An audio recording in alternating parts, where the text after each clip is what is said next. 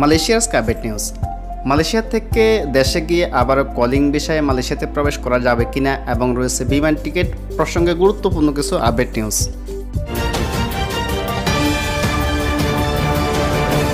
প্রবাস টিভি, প্রবাসীদের সাথে চব্বিশ ঘণ্টা। আসসালামু আলাইকুম সময়তে ভিউয়ার্স মালয়েশিয়ার স্কাবেট নিউজ মালয়েশিয়া থেকে কোম্পানি বা এজেন্টকে না জানিয়ে দেশে চলে গিয়ে এবং দেশ থেকে মালয়েশিয়া তো আবার কলিং বিষয়ে আসতে পারবেন কিনা এই বিষয়ে অনেকে জানতে চাচ্ছেন, রয়েছে গুরুত্বপূর্ণ কিছু তথ্য। এবং যে সমস্ত কোম্পানি এজেন্টগুলো আপনাদেরকে জিম্মি করে রাখতেছে মালয়েশিয়াতে, আপনারা কীভাবে নিয়মতান্ত্রিকভাবে দেশে চলে যেতে পারবেন কোম্পানি থেকে এ বিষয়ে হচ্ছে গুরুত্বপূর্ণ কিছু তথ্য, পরামর্শ।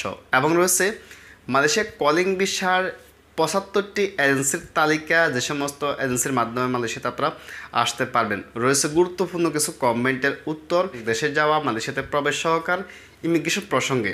তাই তো আজকে গুরুত্বপূর্ণ ভিডিওটি না টেনে শেষ পর্যন্ত আমাদের সাথেই থাকুন। আপনারা দেখতেছেন প্রবাস টিভির সাথে আছে আমি আমিরুল ইসলাম, রুবেল। যে সময়তে ভিউয়ার্স আপনি যদি আমাদের প্রবাস টিভিতে নতুন দর্শক হয়ে থাকেন, অবশ্যই চ্যানেলটি সাবস্ক্রাইব করে পাশে থাকা বেল আইকনটি বাজিয়ে রাখুন। আর সাবস্ক্রাইব করে রাখলে আপনাকে অনেক অনেক ধন্যবাদ। পাশাপাশি মালয়েশিয়ার সমস্ত আপডেট নিউজ পেতে প্রবাসটি ফেসবুক পেজটি লাইক ও ফলো করে রাখুন। ধন্যবাদ। দেশ আমাদের ভিউয়ার্স প্রবাস থেকে এবং দেশ থেকে অনেকেই আমাদের সাথে যোগাযোগ করতেছেন, বিমান টিকিট প্রসঙ্গে কমেন্ট করতেছেন মেসেজ করতেছেন।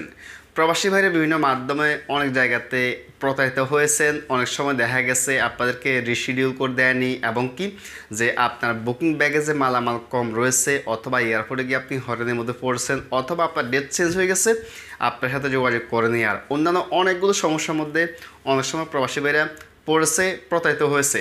তাই তো প্রবাসী ভাইরা যে বিভিন্ন মাধ্যমে আমাদের সাথে যোগাযোগ করতেছেন, টিকিট ক্রয় করা নিয়ে বা টিকিট কাটা নিয়ে।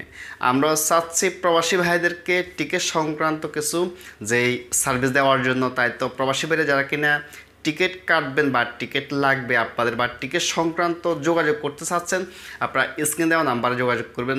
মনে রাখবেন শুধুমাত্র আপনি হোয়াটসঅ্যাপ নাম্বারে যে আপনি ভয়েস রেকর্ড করে পাঠাবেন অথবা লিখে পাঠাবেন। যদি আপনি কোনো ডেটে টিকিট কাটতে চান, অবশ্যই আপনার ডেটটি সিঙ্গেল অথবা আপ ডাউন উল্লেখ করে কিন্তু ভয়েসের মাধ্যমে অথবা লিখে আপনি হোয়াটসঅ্যাপ করতে পারেন এবং কি প্রবাস টিভি রেফারেন্সের মাধ্যমে কিন্তু আপনি কম খরচে প্লাই করতে পারেন বা টিকিট কাটতে পারবেন। এবং কি ফিউচারে যদি আপনার টিকিটে কোনো সমস্যা হয়ে যায় রিশিডিউল করা বা রিফান্ড করা ইনশাল্লাহ প্রবাসটির মাধ্যমে আপনারা করতে পারবেন কোনো প্রকার। প্রতারিত হবেন না, যেহেতু প্রবাস টিভি হচ্ছে আপনাদের একটি আস্থার প্ল্যাটফর্ম আর অবশ্যই মনে রাখবেন, এই নাম্বারটি শুধুমাত্র আপনাদেরকে বিমান টিকিট প্রসঙ্গে সার্ভিস দিয়ে থাকবে। দেশমাত্র ভিওয়ার্স মালয়েশিয়া থেকে কোম্পানিকে না জানিয়ে, এজেন্টকে না জানিয়ে নিজে নিজে দেশে চলে যাবেন, দেশ থেকে মালয়েশিয়াতে আবারও কলিং বিষয়ে আসতে পারবেন কিনা এই বিষয়ে অনেকেই যোগাযোগ করতেছে। বিশেষ করে যে সমস্ত প্রবাসী ভাইদের, মায়েদের ছয় নাম্বার, সাত নাম্বার বিশেষ টিকার রিনিউ হচ্ছে না, আপনার হাতে বিশেষ মেয়াদ রয়েছে আরও এক মাস, দু মাস বা কিছুদিন মেয়াদ রয়েছে। মেয়াদ থাকা অবস্থায় আপনি দেশে চলে যাবেন, দেশ থেকে মালয়েশিয়াতে আবারও কলিং বিষয়ে আসতে চাচ্ছেন, সম্ভব হবে কি হবে না এই বিষয়ে অনেকেই যোগাযোগ করতেছে। যে সমস্ত প্রবাসী ভাই আপনারা কোম্পানির আন্ডারে আপনার ভিসা, পাসপোর্ট রয়েছে, ওই সমস্ত প্রবাসী ভাইদের জন্য একটু ডিফিকাল্ট হয়ে যাবে। যদি আপনি এনি কাইন্ডস অফ ওয়ে আপনার পাসপোর্টটি কোম্পানির থেকে নিয়ে নেন, নিয়ে আপনি টিকিট কেটে দেশে চলে যান, কোনো প্রকার সমস্যা হবে না। আপনাকে এয়ারপোর্টে কোনো প্রকার বাধাগ্রস্ত করবে না, যদি আপনার কোম্পানি কমপ্লেন না দেয়। যখনই কিনা আপনি পাসপোর্টটি নিয়ে ভেগে যাবেন এয়ারপোর্টে যাওয়ার আগে যদি আপনার কোম্পানি ইমিগ্রেশন বরাবর বড় ধরনের কোনো আপনার রিপোর্ট করে বসে, তাহলে কিন্তু ইমিগ্রেশন আপনাকে যে যেতে দিবেন এবং কি সাথে সাথে ইমিগ্রেশন থাকা অবস্থায় আপনাকে বা আপনার কোম্পানিকে কল করে নিয়ে আসবে। তো সেক্ষেত্রে ইমিগ্রেশন কিন্তু আপনাকে একেবারে জেলে নিয়ে যাবে বা ঝামেলা করবে, এমনটা কিন্তু করবে না। পরবর্তী স্টেপ আপনার কোম্পানির সাথে কথা বলেই কিন্তু তারা পদক্ষেপ গ্রহণ করবে। যদি আপনার এয়ারপোর্টে ইমিগ্রেশন ক্রস হওয়ার আগ পর্যন্ত কোনো প্রকার ইমিগ্রেশন বরাবর বা যে আপনার কোম্পানি কমপ্লেন না দেয়, আপনি যেতে পারবেন। আপনি যাওয়ার পরবর্তীতে যদি কোনো প্রকার আপনার কোম্পানি ইমিগ্রেশন বরাবর কমপ্লেন দিয়ে থাকে তাহলে কিন্তু মালয়েশিয়াতে আসাটা একটু কষ্টকর হয়ে যাবে আপনার জন্য।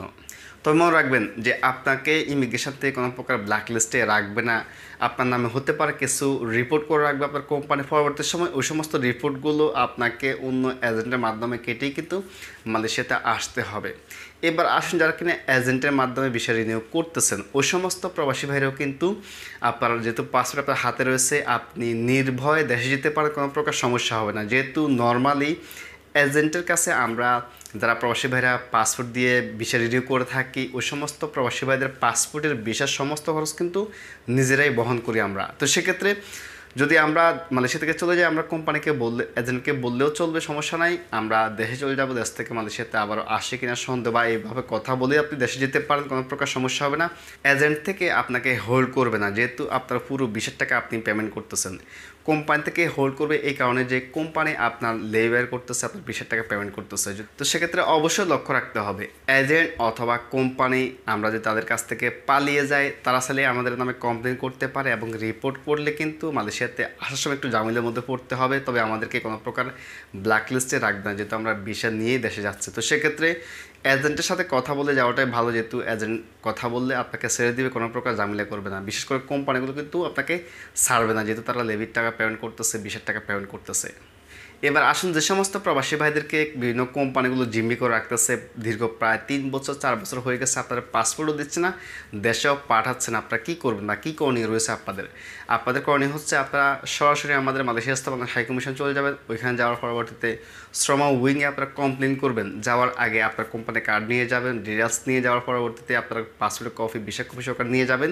নিয়ে যাওয়ার পর বলবেন যে আজকে দীর্ঘ তিন বছর, পাঁচ বছর পুরো ডিটেলস আপনারা যদি তাদের সাথে শেয়ার করেন, তারা কিন্তু ওইখান থেকে অ্যাকশন নেবে আপনাকে নিয়ম অনুসারে দেশে পাঠানোর জন্য। যদি আপনাকে জিম্মি করে রাখে, সঠিকভাবে বেতন না দেয় বা সমস্যা করতেছে, যারা কিনা মালয়েশিয়াতে বসবাস করতেছি, আমাদের কোম্পানির সমস্ত কমপ্লেনগুলো কিন্তু আমরা আমাদের শ্রম উইংয়ে পাঠাতে পারি। শ্রম উইং থেকে আমাদেরকে সহায়তা করবে। যেহেতু শ্রম উইং রয়েছে, মালয়েশিয়াতে অবস্থানরত সমস্ত প্রবাসীদেরকে সহায়তা এবং কি টেক কেয়ার করার জন্য।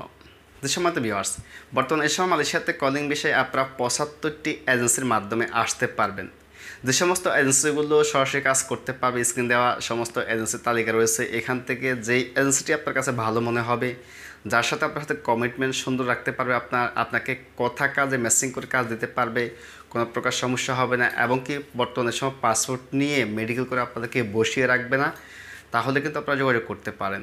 যে অনেকে যোগাযোগ করতেছে, আমাদের মাধ্যমে কোনো একটি এজেন্সির মাধ্যমে আপনারা আমাদের সাথে আসার জন্য। আমরা এখনও পর্যন্ত কোনো প্রকার কোনো এজেন্সির নাম প্রকাশ করতেছে না এই কারণে যেই। কেননা বর্তমান এর সময় তারা যে হারে বিষার দাম বৃদ্ধি করতেছে, সত্যি এটি বলা বাহুল্য, তাই তো আমরা কোনো প্রকার কোনো এজেন্সির সাথে যোগাযোগ করতেছি না। যদি কোনো এজেন্সির সাথে যোগাযোগ হয়ে যায় আমাদের সাথে, যা কম খরচ আপনি আসতে পারবেন ইনশাল্লাহ আমরা আপনাদেরকে জানিয়ে দিব। আপাতত আপনি সরাসরি অফিসে গিয়ে কথা বলবেন, কথা বলার পরে কিন্তু পুরো ডিটেলস জানার পরে চুক্তিবদ্ধ হওয়ার পরে কিন্তু আপনি পাসপোর্ট, টাকা পয়সা লেনদেন করবেন। অনেক এজেন্সি রয়েছে বর্তমানে সময় বলতে শুধুমাত্র পাসপোর্ট জমা দিয়ে যান, পরে টাকা নিব আমরা। এর এক সপ্তাহ পরেই কিন্তু আপনাকে মেডিকেল করার সাথে সাথে বলব, আপনাকে পঞ্চাশ হাজার টাকা নিয়ে আসার জন্য এক সপ্তাহ পরে বলব যে আরও পঞ্চাশ হাজার টাকা আরও এক লক্ষ টাকা এইভাবে টাকা আদায় করতে থাকবে। প্রথম পর্যায়ে তারা শুধুমাত্র আপনার কাছ থেকে পাসপোর্টটি জব্দ করবে। সম্মানিত ভিউয়ার্স হঠাৎ করে গুরুত্বপূর্ণ একটি তথ্য নিয়ে আমাদের কাছে কমেন্ট করতেছে, যেমন কি এমডি নুরুল আলম ভাই লিখেছেন, এরপরে মশিউর তামান্না ভাই সহকারে বেশ কয়েকজন কমেন্ট করতেছেন যে বর্তমান এর সময় মালয়েশিয়াতে মায়েদের ছয় নাম্বার বিশেষ টিকারে তারা তলাক দিচ্ছে ইমিগ্রেশন কী করণীয় রয়েছে? কী করতে হবে বা কোনো সমস্যা হবে কি না এই বিষয়ে ইনশাল্লাহ আমরা আগামীকাল ভিডিও তৈরি করতেছি। আমরা কয়েকটি এজেন্সির সাথে যোগাযোগ করব এবং আমরা চেষ্টা করব কোনো লিঙ্ক কোথাও গিয়ে যে সঠিক তথ্যটি দেওয়ার জন্য আপনাদেরকে ইনশাল্লাহ আগামীকাল আমরা এই বিষয়ে ভিডিও তৈরি করব। অবশ্যই দেখার আমন্ত্রণ রইল। এরপরে আপন আপেল নামের একবার কমেন্ট করছেন যে, যাদের বিষয়ের মেয়াদ রয়েছে, তারা দেশে একেবারে চলে গেলে মালয়েশিয়াতে আবার কলে বিষয়ে আসতে পারবে কি না যাদের বিশাল মেয়াদ রয়েছে এক মাস, দুবার তিন মাস, আপনারা দেশে চলে গেলে মালয়েশিয়াতে কলে বিষয়ে আসতে পারবেন। শর্ত হচ্ছে আপনার কোম্পানির কাছ থেকে, আপনার এজেন্টের কাছ থেকে অবশ্যই আপনাদেরকে চেক আউট মেমো নিয়ে যেতে হবে। যারা কিন্তু চেক আউট মেমো নিয়ে যাননি, ইতিমধ্যে আপনারা চাইলে কিন্তু চেক আউট মেমো তৈরি করতে পারেন কোনো এজেন্সির মাধ্যমে। দুঃসমাত ভিউয়ার্স আজকাল এই পর্যন্ত। যদি আপনাদের কোনো মতামত থেকে থাকে, অবশ্যই কমেন্ট বক্সে কমেন্ট করবেন এবং ভিডিওটি শেয়ার করে অন্যান্য প্রবাসীদেরকে দেখা সুযোগ করে দেবেন, জানা সুযোগ করে দেবেন। ধন্যবাদ। ভালো থাকুন থাকুন। দেখা পরবর্তী ভিডিওতে। আল্লাহ হাফেজ। সালাম আলাইকুম।